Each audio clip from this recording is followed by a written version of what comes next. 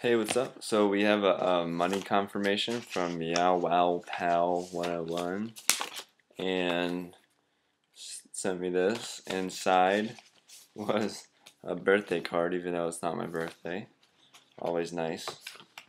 She didn't even sign it though. No, I'm just kidding. And um, she sent.